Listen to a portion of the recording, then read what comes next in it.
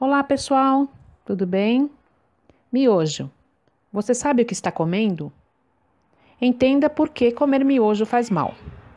O consumo exagerado de macarrão instantâneo tipo miojo ou cup noodles faz mal à saúde devido ao alto teor de sódio, gordura e conservantes em sua composição.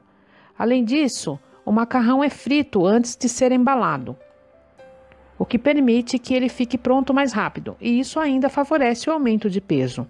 Segundo a Organização Mundial de Saúde, a ingestão máxima de sal por dia deve ser de apenas 4 gramas, o que equivale a uma colher rasa de café, e cada embalagem de macarrão instantâneo traz pelo menos o dobro deste valor.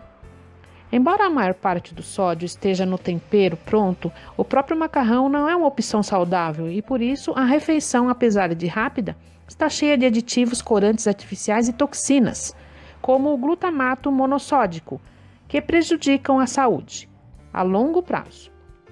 Se você está gostando do vídeo, deixe aquele like para ajudar.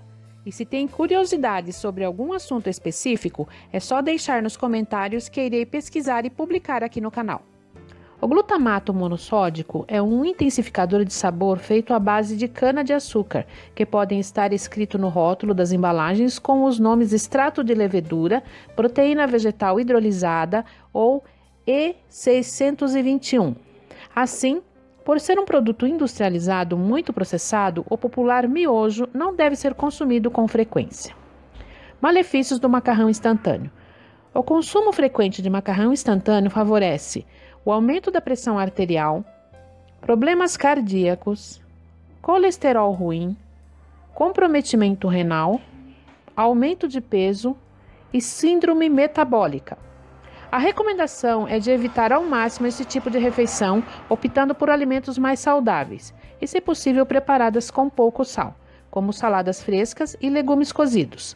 Para conferir algum sabor, indica-se o uso de ervas finas, e especiarias, que não fazem mal à saúde e são agradáveis ao paladar. Então, pessoal, a dica de hoje foi essa. Espero que vocês tenham gostado. Dê um like no vídeo para ajudar. Compartilhe com seus amigos e quem não for inscrito no canal ainda, se inscreva. Beijos, fiquem com Deus e até o próximo vídeo. Tchau, tchau.